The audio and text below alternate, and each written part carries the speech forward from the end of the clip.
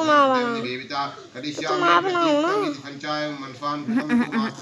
जगाम नगरम यदधनाम यत्रिष्टो कष्टमूलं च दूजगुणो प्रवाहितः ततः प्रसन्नहृदयं संयुक्तं कदलीफलं शर्करा घृतं गोधूमश्च चूर्कम् अभावोषि चूडागृहं नियोतात्तो बान्धवशमुचाकरं विधानं प्रथमं तत्प्रभावेण धनधानकाम् आहवति लोकेशकं मुक्ताः चान्ते शतपुरमियो इति स्कन्धापुराणे रेवाखण्डे श्री सत्यनारायण व्रत कथा तृतीयोध्याय समाप्त है। वृंदावन बिहारी लाल की जय। जय जय।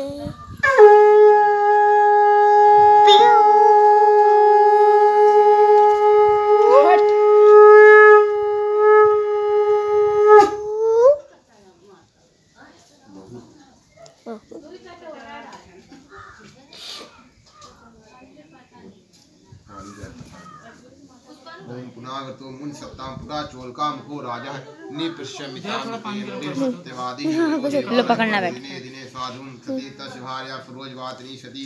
भद्रशीला नदी तीरे तस्मिन् अतवाणी परिपूर्ता नाभं जगनं भूमशिवा जगना करिष्यामि तदेव देवता राजा। राजां भक्तिचेता प्रभाकं मुनिसत्तां विष्णुफलप्राप्तं साधु मुन्वतं किं फलं किं विधानं च साधु विलोकं रुद्री मम पूजार्थं सार्धपुत्रकाभ्यं भूव शिवा च प्रवोचं सार्धं सर्वे कथां राजं पृच्छामि तदेव निवेदिता मम यज्ञध्रुवं ततो। वाणीकर्था सुन्दरं समागतः तत् भार्यां सर्वे व्रतफनातिर्हति तत्र करिष्यामि यदा मे फनातिर्हति इति लीलावती प्रह पत्नी एतस्मिन् दृश्ये भार्यः लीलावती फति भक्तियुक्त चित्राण धनपरायण गर्भाणि सावत्। तस्य मासे वे तस्य कन्या रत्न जायते दिने दिने सा नाम्ना कलावती ततो ततो लीलावती नामकरणं प्रह स्वामिनं मधुरः न करिष्यामि। पुनः सङ्कल्पितां व्रतं व्रतं प्रिये।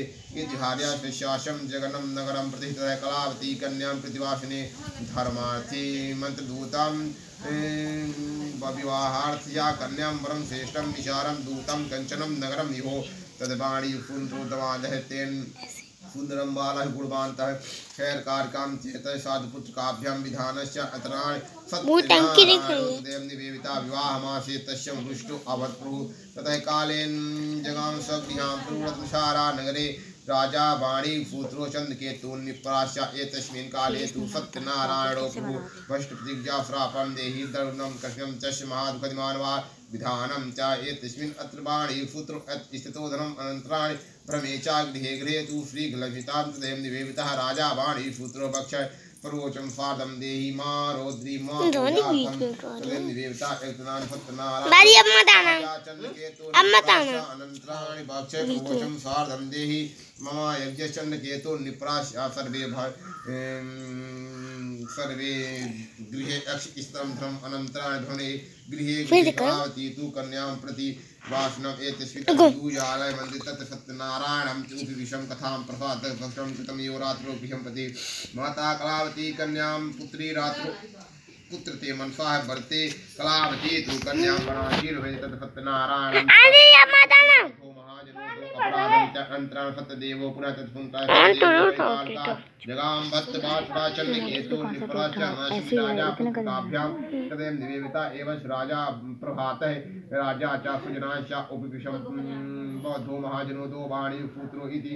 महाजनो चन्द्रकेतु निपराश्च अनन्तरं तो महाजनो राजा निपराश्च वाणी पुत्रो भक्ष प्रभोजं सार्धं देहि तव बिल्कुल ऐसे। क्षैर कारकां वस्तु भाङ्ग्रे ततो पुनः तो भ्रमे च गृहे गृहे च तो राजा गच्छं साधु यदि मन्दिरां पौर्णमासी च सङ्क्रान्ति महावैश्यस्वगृहां प्रति इति स्कन्धापुराणे रेवाखण्डे श्री सत्यनारायण व्रतकथा समाप्तः वृन्दावन बिहारी लाल की जय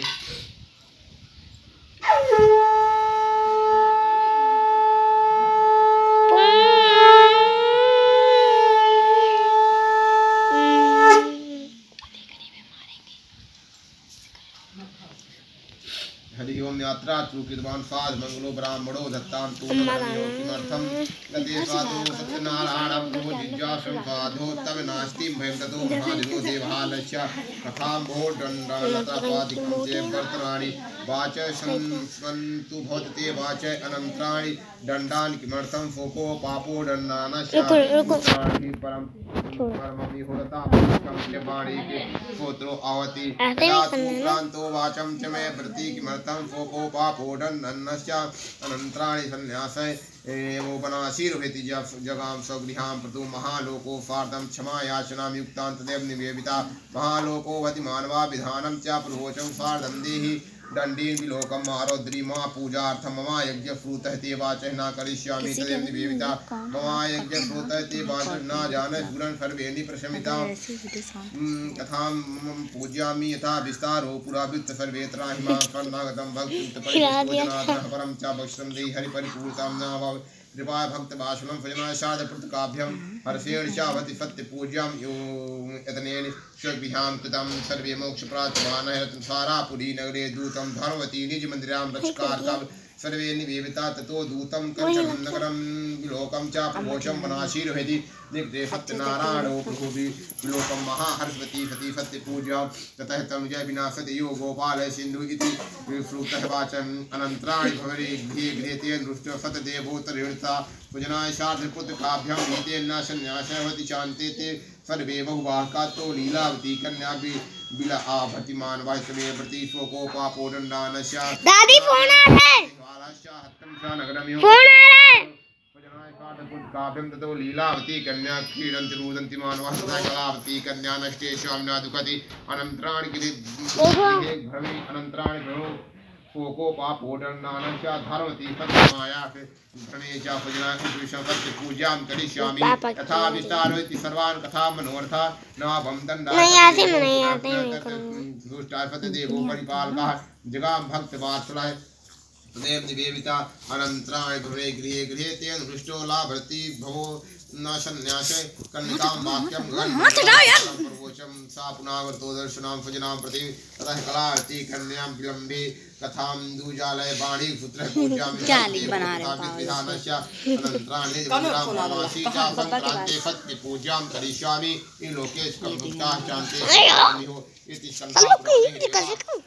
खंडे श्री है। चतुर्थो अध्याय समाप्त है वृंदावन जय तीन आया बिहारी तो लाल उधर की से और से जय। तक और उधर तक और उधर से तक दिखाओ दिखाओ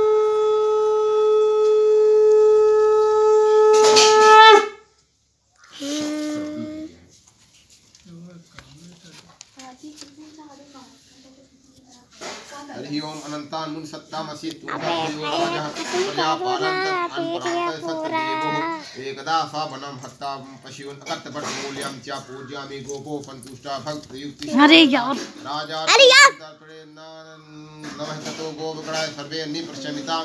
जितेन्द्रिय सत्यवादिः यो यो देवालयः प्रतिदिने ततः प्रसादेन राजा च सुजना उपविशं तस्य पुत्रनष्टकां धन धानिकां च तेन सत्यमाया अनन्तराणि।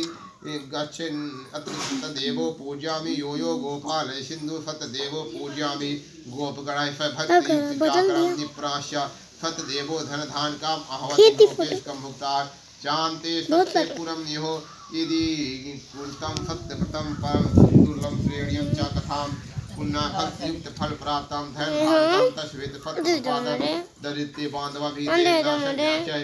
फलं चान्ते सत्यपुरं वश्ये सत्यनारायण जागृतो सर्वोत्मानवाद विशेषता है कलयुगे सत्य पूज्यां फल प्राप्तां कालं वन्दिं सत्यं निवेदिता सत्यनारायण उपेतं यथा प्राधे